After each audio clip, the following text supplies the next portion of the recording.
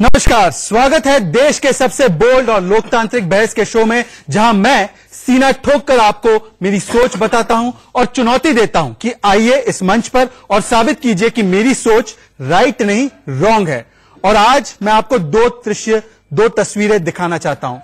एक तरफ़ लाखों शरणार्थी जश्न मना रहे हैं और जिस, इस बिल लिखने में जो नागरिकता संशोधन बिल है, जो संसद में पारित हुआ है इस इतिहास का वो स्वागत कर रहे हैं, जिसे लिखने में सत्तर साल की देरी हुई। वो सपना पूरा होने में महात्मा गांधी का सपना था, मनमोहन सिंह का सपना था, पर कांग्रेस पार्टी ने वो राजनीतिक इच्छा शक्ति नहीं दिखाई, जिसे दिखानी चाहिए थी। और देखे उन अल्पसंख्यकों के चेहरों पर खुशी को। खुशी नए भारतीय नागरिक बनने की और दूसरी ओर सोनिया गांधी गांधी परिवार द्वारा संचालित कांग्रेस और कांग्रेस द्वारा प्रायोजित उनकी मंडली, जो वोट बैंक की राजनीति की इस तरीके से शिकार बन चुकी है कि कभी भारतीय मुसलमान को भड़काए और कभी पूर्वोत्तर को सुलगाए। ऐतिहासिक गढ़ी को भी काला दिन बताए और सोनिया गांधी संसद पर भी कालीक लगाए।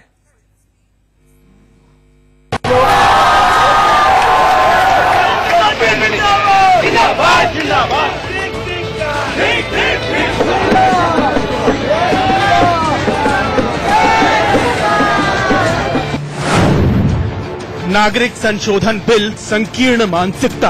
तो ये जश्न मनाने वाले कौन है?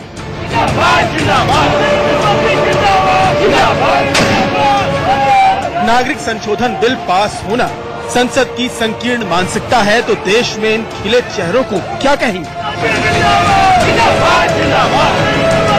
आग्रह करूँगा कि उनसे कि कांग्रेस और उनके साथियों के बहकावे में न आए।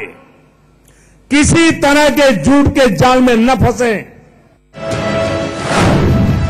नागरिक संशोधन बिल संकीर्ण मानसिकता तो बहुमत से बिल पारित कराने वाले सांसद क्या हैं? सोनिया जी नागरिक संशोधन बिल पर दोनों सदनों में मिले बहुमत को आप संकीर्ण मानसिकता बता रही हैं, तो राज्यसभा में विधेयक के पक्ष में वोट करने वाले 125 सांसदों के बारे में अपनी राय भी ज़ाहिर कर दीजिए। सोनिया जी, लोकसभा में बिल का समर्थन करने वाले 309 सांसदों को लेकर भी अपना ज्ञान ज़रूर बांट दीजिए। नागरिक संशोधन बिल, संकीर्ण मानसिकता तो मनमोहन सिंह का बयान क्या है?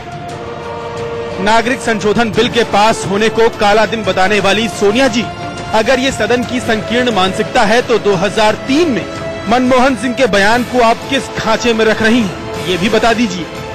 ये डॉक्टर मनमोहन सिंह जी ने कहा है। हम लेकर आए उनका मंच हम लेकर आए। हाँ और हम लेकर के आए। उनकी बातों को पूरा करते हुए आज हम इस बिल को लेकर के आए हैं और इसका समर्थन नागरिक संशोधन बिल पास क्या हुआ कांग्रेस तिल मिला गई। और तो और कांग्रेस अध्यक्ष सोनिया गांधी ने बिल के बहाने पूरी संसद और संसदीय परंपरा पर ही हमला बोल दिया। सोनिया गांधी ने चिट्ठी लिखकर कहा कि ये भारत के इतिहास का काला दिन है। नागरिकता संशोधन विधेयक का पारित होना संकीर्ण सोच वाली और कट्टर ताकतों की जीत है। ये उस भारत की सोच को चुनौती है, जिसके लिए राष्ट्र निर्माता लड़े थे। सोनिया ने लिखा है कि बीजेपी के विभाजनकारी एजेंडे के खिलाफ कांग्रेस लड़ती रहेगी। सवाल यह है कि सोनिया जी की ये चिट्ठी क्या जनता के चुने हुए नुमाइंदों और पूरी की पूरी संसद का अपमान नहीं है?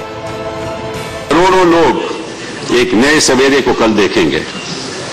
मैं आपसे ये भी इल्तिजा करना चाहता हूँ कि लाखों लोग की रात खत्म नहीं होगी ये काली रात खत्म नहीं होगी। जब लोकसभा में इस पर चर्चा हो रही थी तो उस वक्त न सोनिया गांधी और न ही कांग्रेस के पूर्व अध्यक्ष राहुल गांधी ने एक शब्द कहा। लेकिन अब पूर्वोत्तर में इमरजेंसी के हालात बताकर माहौल खराब करने में पीछे नहीं है। और यही वजह है कि पीएम मोदी ने कांग्रेस को सवालों के कटघरे में लाखड़ा किया। आग्रह करूँगा कि उनसे कि कांग्रेस और उनके साथियों के बहकावे में न आए, किसी तरह के झूठ के जाल में न फंसे।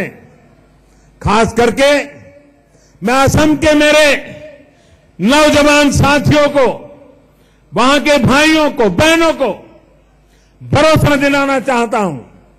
उनको किसी प्रकार की चिंता करने की ज़रूरत नहीं है। कोई भी उनके अधिकारों को नहीं छीन सकता है।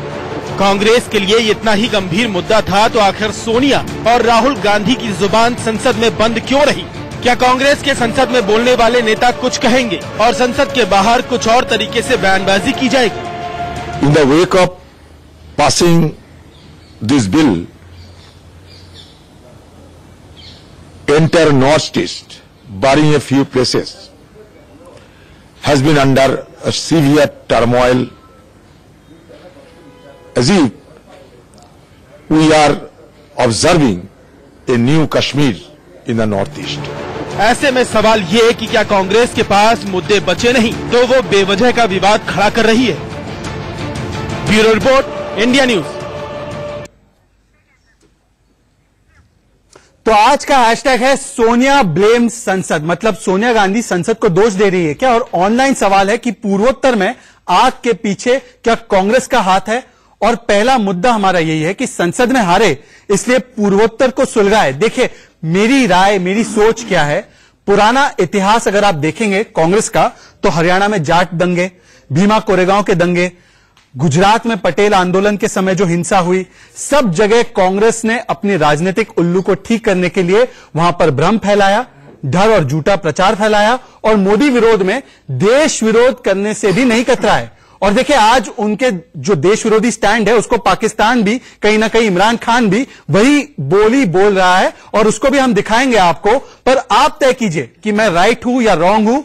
यह लोकतांत्रिक मंच है और इस मंच पर मैं सबको चुनौती देता हूँ कि आइए साबित कीजिए कि मेरी सोच रॉन्ग है। और इसीलिए देखिए, आपको दिख रहा होगा कि कुछ लोग यहाँ पे आए हैं।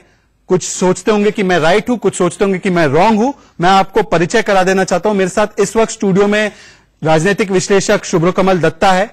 मेरे साथ ऋषि मिश्रा है, राजनीतिक विश्लेषक है, कांग्रेस की तरफ़ झुकाव रखते हैं। मेरे साथ है प्रशांत पटेल, सुप्रीम कोर्ट के वकील है। ये बीजेपी की तरफ़ थोड़ा सा झुकाव रखते हैं। मेरे साथ शिवसेना के नेता और समर्थक और हमदर्द संजय गुप्ता है। शिवसेना है, सोनिया सेना है। वो शो के दौरान आप तय कीजिए। और मेरे साथ असली सोनिया सेना, यानी कांग्रेस पार्टी के समर्थक और हमदर्द संजीव कौशिक जुड़ चुके हैं और मेरे साथ बीजेपी के राष्ट्रीय प्रवक्ता भी जुड़ने वाले हैं। पर पहला सवाल मेरा संजीव कौशिक से ही है। सोनिया सेना से असली सोनिया सेना से सवाल लेना चाहता हूँ। संजीव कौशिक, हमने दृश्य भी दिखाए और मेरे पास यहाँ पे एविडेंस भी है, जो आप कह रहे हैं कि पूर्वोत्तर सुलग रहा है, वहाँ पे आग लगी हुई है, जनता का आक्रोश है। ये लोग कांग्रेस के यूथ कार्यकर्ता जो है, त्रिपुरा में बंद का ऐलान कर रहे हैं और उसे रोकने के लिए बीजेपी के कार्यकर्ता उतर पड़े हैं और मैंने आपको दृश्य भी दिखाए हैं। ये किस तरीके का आप खेल खेल रहे हैं? आप अपना उल्लू सीधा करने के लिए हरियाणा में भी दंगे मचाते हैं। जाट दंगों के समय हमें पता है किसका नाम सामने आया है। गुजरात में भी भीमा कोरेगांव में भी जेएनयू में टुकड़े टुकड़े गैंग भी और आज पूर्वोत्तर को भी सुलगा रहे हैं।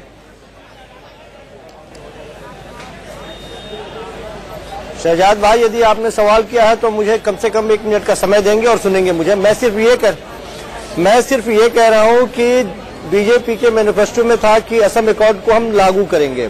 क्या था उसमें? डिटेक्ट डिलीट एंड डिपोर्ट ये चुन चुन के निकालने की बात थी जो हिंदू मुसलमान चुन चुन के कर रहे हैं। ये तो नहीं थी आपके एजेंडे में। भारतीय जनता पार्टी के एजेंडे में ये तो कभी नहीं रहा। आप जो कहना चाहते हैं और जो करना चाहते हैं, वो दोनों में ज़मीन आसमान का अंतर है। असम यदि सुलग रहा है तो आप बार बार जो दुहाई दे रहे हैं कि असम के लिए ही हम बेहतरी के लिए ये काम कर रहे हैं, कौन सी बेहतरी आपने असम के लिए कर दी? क्या असम में एनआरसी शुरू किया गया था कि आप कैब ला के लागू करें और उसमें हिंदू मुसलमानों को बांट के फिर हिंदुओं को स्थापित करने की कोशिश करें आप? आप हमें ये बताएँ, आप हमसे सवाल कर रहे हैं, मैं आपसे ये सवाल कर रहा हूँ कि क्या एनआरसी का एक तरह से एक्सटेंशन नहीं है सीएबी सीएबी संजीव यदि लाया गया मैंने आपकी बातों और को कल सुना, मैंने बात आपको जिसके नहीं किया। संजीव कौशिक, सेना की बात कर रहे हैं। संजीव कौशिक मैंने आपकी बातों को सुना। नहीं सुना बात सुनिए। बात नहीं आप लगातार यहाँ पे हम आपको मैं आपको यहाँ पे भाषण करने का मंच नहीं दे सकता हूँ। सर सर सुनिए ना। सर डायलॉग करते हैं। सर सर संजीव कौशिक मेरी बात समझिए। यहाँ पे मेरे पास 40 मिनट का वक्त है सबको मौका मिलेगा। मैं आपको सवाल पूछूँगा आप सवाल का जवाब देंगे। आप अपनी लंबी चौड़ी कहानी नहीं सुनाएँगे। मैं आपको ये सिर्फ़ पूछ रहा हूँ कि अगर नॉर्थ ईस्ट में वाकई में इतना गुस्सा है तो यूथ कांग्रेस के कार्यकर्ता वहाँ पे जाकर 24 घंटे का बंद एनफोर्स करने के लिए क्यों जा रहे हैं? और हरियाणा में भी यही किया आपने भीमा कोरेगांव में भी यही किया। आप लोग जाकर पूर्वोत्तर में भ्रम क्यों फैला रहे हैं जबकि प्रधानमंत्री ने और गृह मंत्री ने क्लैरिफाई किया है कि एग्जेम्प्ट है सारे नॉर्थ ईस्ट के इलाके सीएबी से। फिर भी आप ये प्रोपागेंडा फैला रहे हैं। राहुल गांधी कह रहे कि नॉर्थ ईस्ट को क्लेंज किया जा रहा है एथनिकली क्लेंज किया जा रहा है। यह किस तरीके का दुष्प्रचार है? जवाब दीजिए संजीव कौशिक।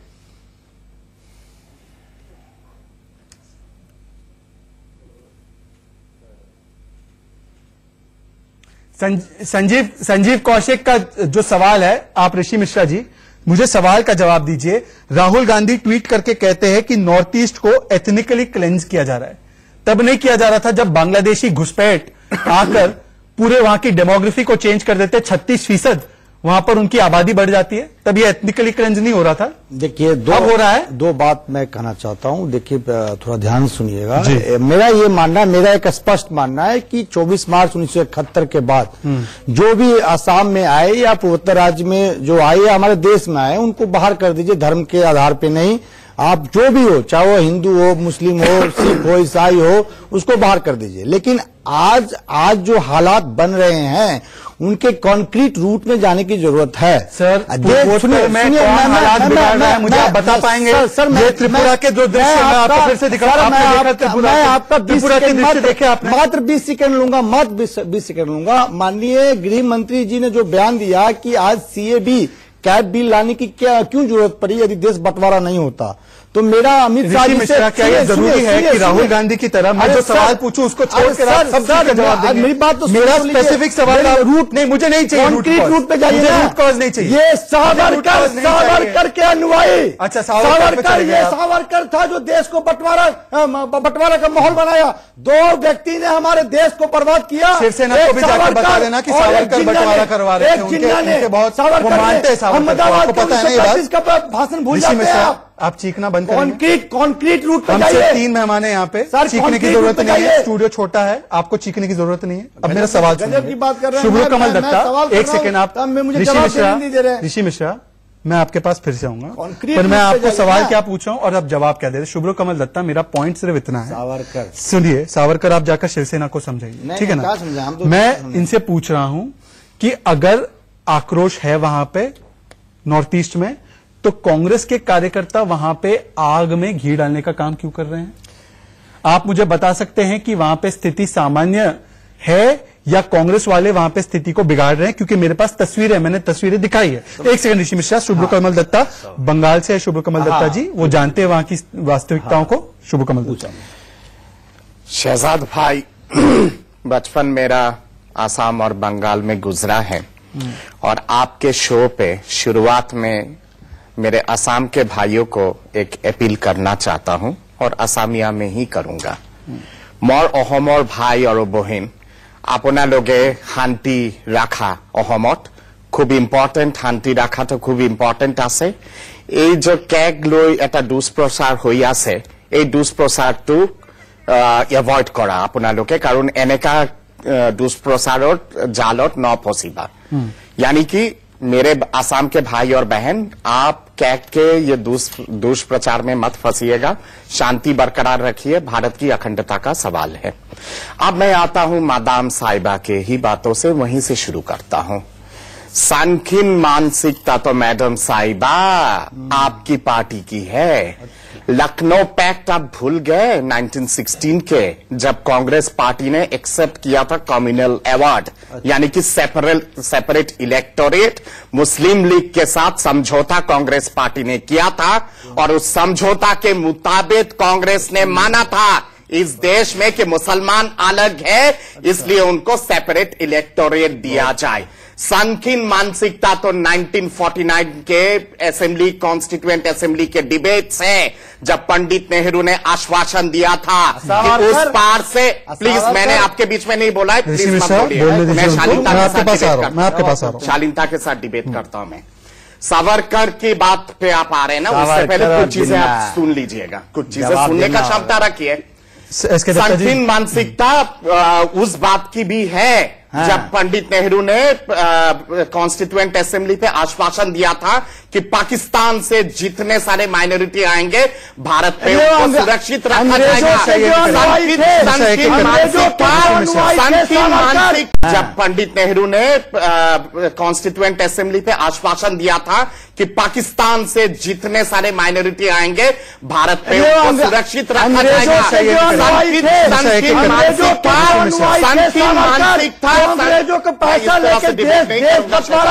जो मैं। सूत्र डाला था आपको के ऋषि मिश्रा एक सेकंड मेरे पास एक दो तीन चार चार मेहमान है। मेरे पास पचास मिनट की का वायरल है। मैं आपको पूरा मौका दूँगा। एक सेकंड मेरी शुभ्रो आदत कमल नहीं। एक सेकंड जी को तो पूरा भाषण ऋषि मिश्रा या तो या तो आप मेरे फूल रूल्स को फॉलो करेंगे को या तो अगर आपको रूल फॉलो नहीं करना है आपको दंगा करना है तो आप वहाँ पे त्रिपुरा चले जा हमें भी- हमें भी तो ठीक है अब आप दंगा नहीं मैं आपको बहुत मौका दिया। मैंने संजीव कौशिक को भी मौका दिया है। आपको भी मौका दूँगा। आप रुकेंगे पेशेंटली प्रशांत पटेल अभी तक बोले भी नहीं है। मैं कंप्लीट कर लूँ। शुभ कमल दत्ता जल्दी से बात कंप्लीट कीजिए फिर लियाकत अली नेहरू पैक्ट भी संकीर्ण मानसिकता का ही एक विचार था।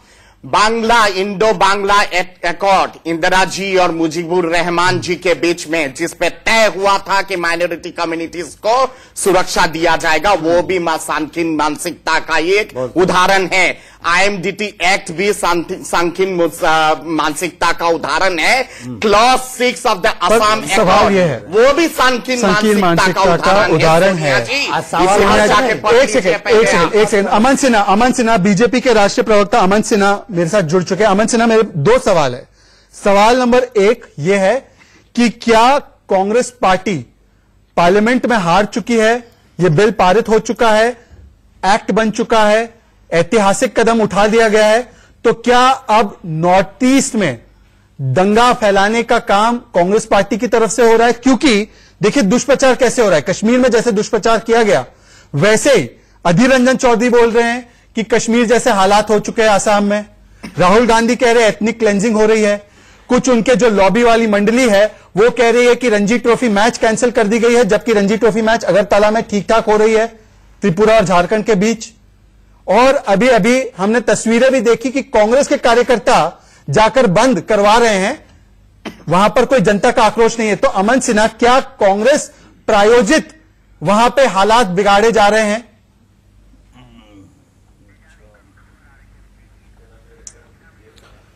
शहजाद जी, जो हमें देखने को मिल रहा है इंडिया न्यूज़ पे और बाकी भी कई चैनल्स पे, किस तरीके से ग्राउंड पे सिचुएशन को प्रवोक किया जा रहा है? उससे तो ये स्पष्ट ही है। और मुझे लगता है बहुत भ्रांति फैलाई जा रही है। माननीय गृह मंत्री अमित शाह जी ने जो अपना कॉम्प्रहेंसिव जवाब दिया सीएबी पे, उसमें हर एक बिंदु पे जितने भी प्रश्न अमन सिन्हा, मुझे आपको एक मिनट के लिए रोकना होगा, क्योंकि एक बहुत बड़ी ब्रेकिंग न्यूज़ हमें आ रही है, अयोध्या मामले और मेरे साथ इस वक्त पूरा पैनल डिबेट करने के लिए तैयार है। हम लोग डिबेट कर रहे थे सोनिया गांधी के पत्र पर, और हम लोग डिबेट कर रहे थे सीएबी पर और पूर्वोत्तर में जो हिंसा मची हुई है उस पर। पर मैं आगे बढ़ू उससे पहले मैं एक बार क्योंकि हमारे साथ दो या तीन वरिष्ठ लॉयर भी है पैनल पर। अमन सिन्हा आपकी पहली प्रतिक्रिया अयोध्या मामले पर हालाँकि इस पर डिबेट नहीं थी और मैंने आपको इंटरप्ट भी किया था पर कोई प्रतिक्रिया अगर आपको देनी हो अयोध्या मामले में तमाम जो पुनर्विचार याचिकाएँ हैं उसको खारिज कर दिया गया है। आपकी तरफ़ से कोई प्रतिक्रिया इस विषय पर?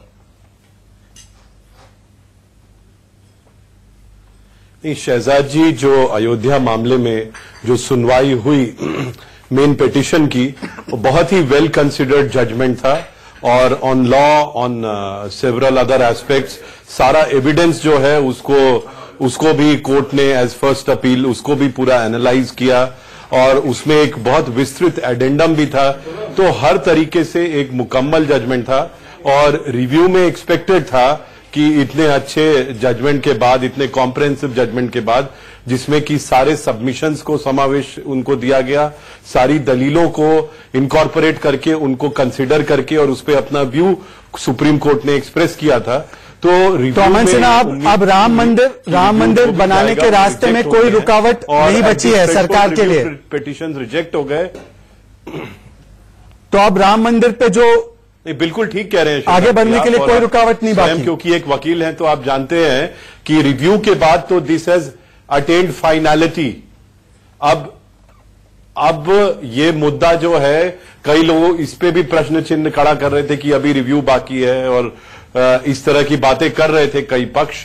पर मुझे लगता है इसके बाद इस पे पूर्ण विराम लगना चाहिए।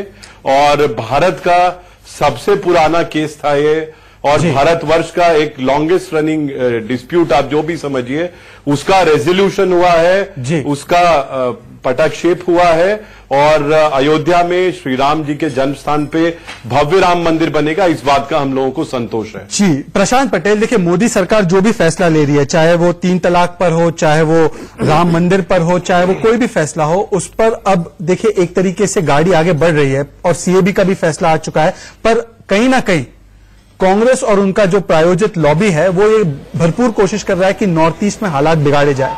जैसे मैं बता रहा था कि इससे पहले भी भ्रांतियाँ फैलाने की कोशिश कर रहे हैं और और देखिए इसका फ़ायदा कौन उठा रहा है? पाकिस्तान। पाकिस्तान और इमरान खान मैं आपको दिखाऊँगा वो किस तरीके से भारत को लेक्चर दे रहे हैं। और वो हूबहू ऐसे ही लग रहा है कि पाकिस्तान का सोशल मीडिया इमरान खान का सोशल मीडिया और कांग्रेस का सोशल मीडिया एक ही आदमी चला रहा है। वही के मुसलमान मुसलमान विरोधी है। यही भ्रांतियाँ फैला रहे हैं जिसका इस्तेमाल पाकिस्तान कर रहा है। यार ये थोड़ा सा में क्लियर कर दिया गया है कि जो नॉर्थ ईस्ट के जो पाँच स्टेट उनको बिना परमिट में रखा गया है वहाँ पर ये बिल लागू नहीं होगा। और कांग्रेस को समझना चाहिए कि उन्हीं के नेता पंडित नेहरू ये सिटीजनशिप एक्ट लेकर के आए थे उन्नीस सौ पचपन में। जब नेहरू एक्ट एक्ट फेल हुआ था तो वो उनकी सहृदयता थी कि शुभ कमल दत्ता जी आप मुझे बताइए आपका शायद ऑडियो ठीक से चल नहीं रहा है तो मैं उसको ठीक करवाता हूँ पर शुभ कमल दत्ता जी इसी सवाल का जवाब।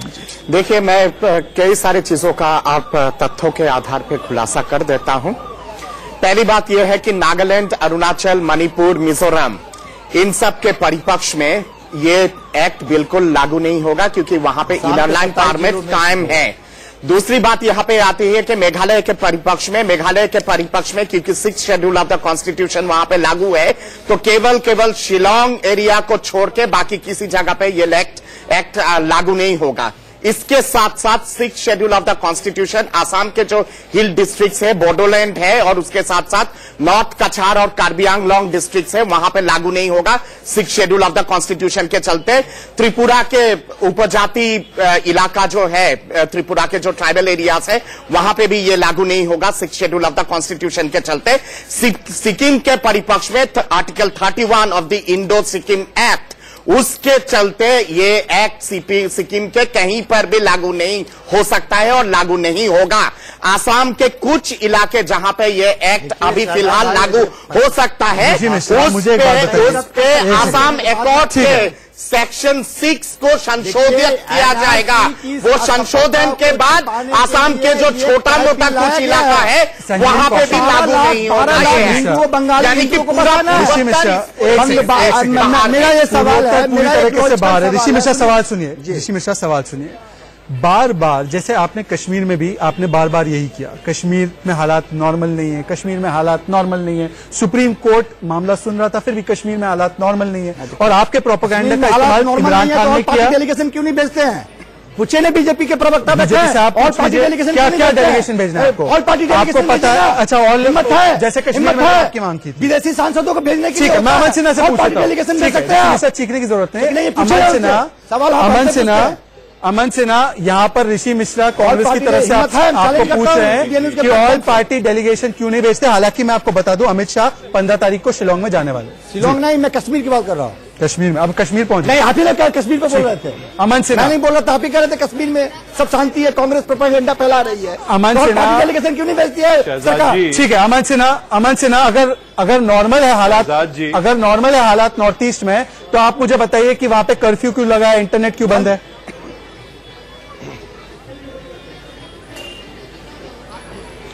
नहीं शहजाद जी सबसे पहले तो मैं ये कह दूँ मुझे नहीं समझ आ रहा आपने दो तीन बार कहा भी जो कांग्रेस से हमारे मित्र हैं क्यों इतना चीख चिल्ला रहे हैं से नहीं, मैं रहे हैं? पत्रकार हूँ। जब सबको बात जा ही रही है सबको सुनाई दे रहा है तो इतना आपको उपद्रवी जो है रूप धारण करने की क्या आवश्यकता है अब आप बात पहले ध्यान से सुनिए तब समझिएगा अच्छा। देखिए सिटीजनशिप अमेंडमेंट बिल जो है वो देश के किसी भी नागरिक का कोई अधिकार ना तो छीनता है ना उसको किसी तरह से इफ़ेक्ट करता है तब ये कौन लोग हैं शहजाद जी जो वहाँ प्रोटेस्ट कर रहे हैं ये वही उनमें से कई इलीगल इमिग्रेंट हाँ, होंगे। जिनको कि इस तरह का कोई डरोगा और कौन फोर्सेज है जिन जो उनको नहीं, दिल्ली से गए हैं, कांग्रेस और ट्रक भर के गए हैं। वहाँ पे जाके संजीव कौशिक। संजीव कौशिक। संजीव कौशिक। पत्रकार है संजीव कौशिक हैं अधिकार है? है। तो संजीव कौशिक एक सेकंड कश्मीर है। सरकार? यूरोपियन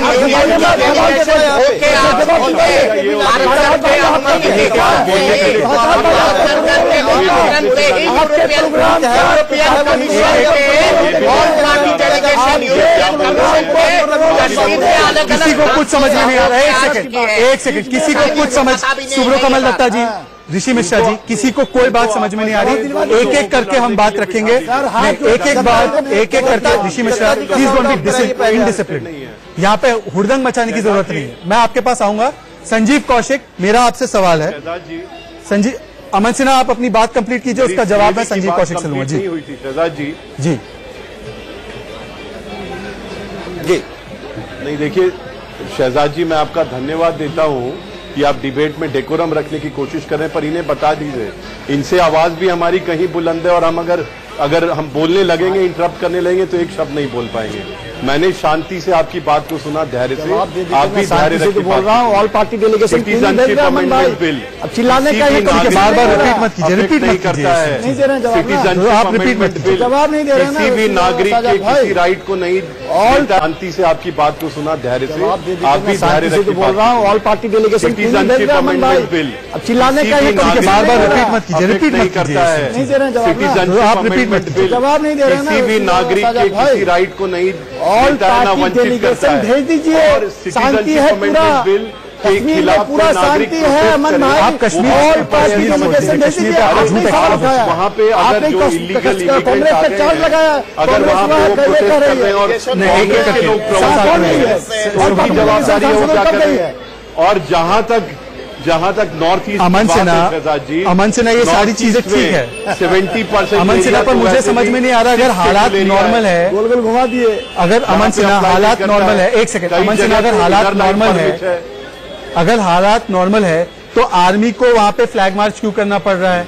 आप वहाँ पे इंटरनेट की सेवाएँ क्यों बंद कर रहे हैं? आप वहाँ पे रेलवे लाइन की सेवाएँ क्यों बंद कर रहे कर हैं? लें जरा एक सवाल मैं भी ले लूँ अमन सिन्हा से। संजीव कौशिक मैं आ रहा हूँ आपके पास मेरे पास आपके लिए बहुत सवाल है आप दो मिनट रुक जाइए। हाँ इसीलिए इसीलिए इसीलिए प्रिकॉशनरी मेजर से किया हुआ है क्योंकि जैसे श्रीमान जी यहाँ बैठ के स्टूडियो में उपद्रव करने की कोशिश कर रहे हैं इन्हीं के दल के बाकी लोग वहाँ ग्राउंड पे जाके भी लॉ एंड ऑर्डर को डिस्टर्ब करने की कोशिश कर रहे हैं। संजीव कौशिक, सवाल ये है- जाएगा। संजीव कौशिक, इसीलिए as precautionary measure temporary measures लिए गए हैं ठीक है। और कहीं पे कोई आग नहीं लगी है बाकी सब जगह नॉर्मल सी है। कहीं एक दो जगह पे अगर कोई ऐसी परिस्थिति है तो as a matter of abundant caution एक दो- वहाँ पे लॉ एंड ऑर्डर मशीनरी को दुरुस्त रखने के लिए पुलिस प्रशासन वो मेजर लेता है वो लिया संजीव कौशिक मुझे एक बात बताइए कि सोनिया गांधी जिस संसद में बैठती है उसका सम्मान करती है वो?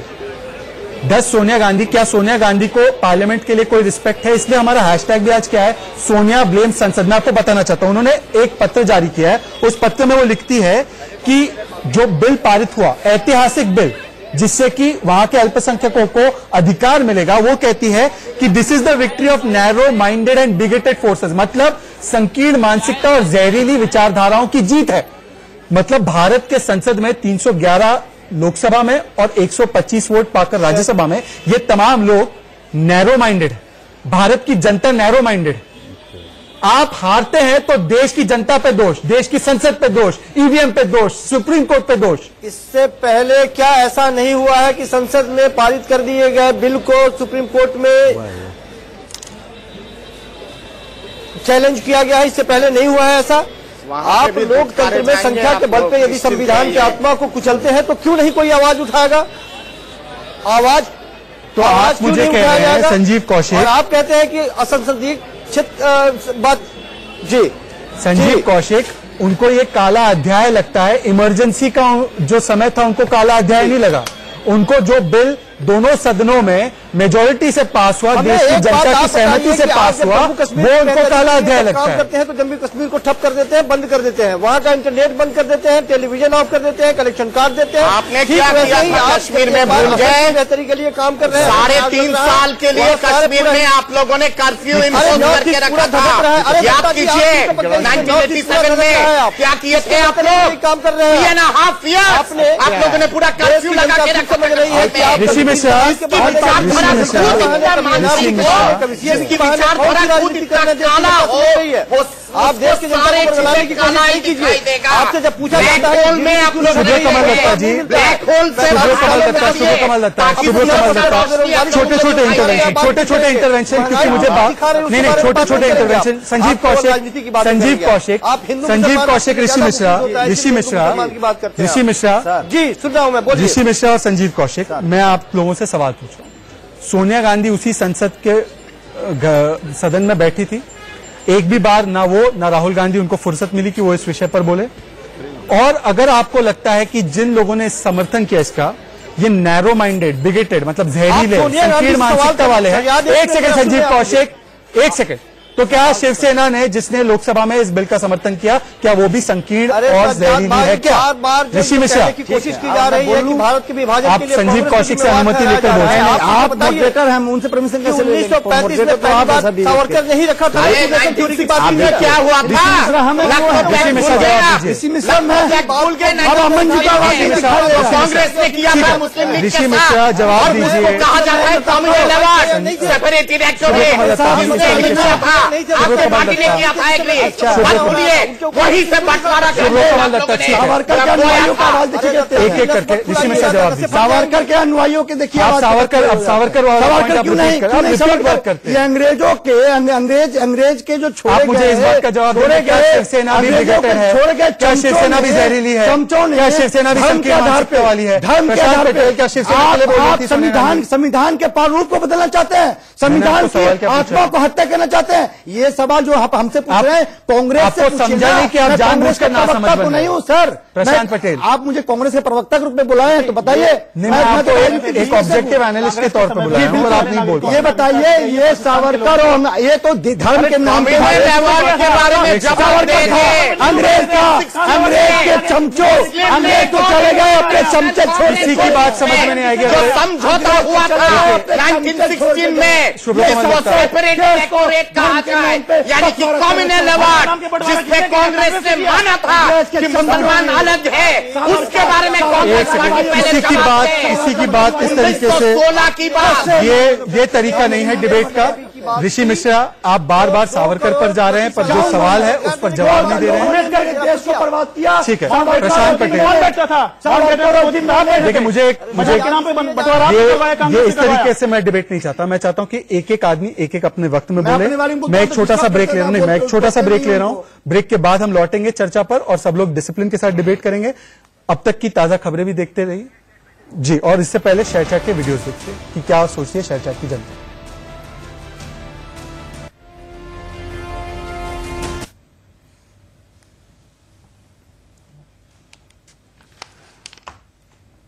ये भी यानी नागरिक संशोधन बिल राज्यसभा में पास होने पर सोनिया गांधी ने इसे लोकतंत्र का काला अध्याय बताया। तो मैं उनसे कहना चाहूँगा काला अध्याय या काला दिन वो था जब इंडिया से पाकिस्तान को अलग कर दिया गया था सिर्फ़ धर्म के नाम पर। नागरिक संशोधन बिल जो पास हुआ लोकसभा और राज्यसभा के अंदर इसके बाद सोनिया गांधी ने कहा कि ये काला अध्याय है। मेरा ये कहना है कि इस तरह की मन, बात से क्या मतलब है? क्या सोनिया गांधी इसको काला अध्याय क्यों मानती हैं? क्यों इस तरह की मनगढ़ंत बातें कर रही हैं कि ये काला अध्याय किस तरह काला अध्याय क्या होने वाला है? यहाँ इससे इससे फ़ायदा ही फ़ायदा ही हो तो नमस्कार। दोस्तों, नागरिकता संशोधन विधेयक बिल जो लोकसभा और राज्यसभा में पास हुआ है, इसको लेकर के विपक्षी पार्टियों का ये कहना है कि ये देश के लिए काला अध्याय है और देश पे हमला है। तो दोस्तों, मैं इतना कहना चाहूँगा कि उनको ये देश का काला अध्याय लगता है। तो मेरी राय में तो इतना है कि ये बेबुनियादी बातें हैं।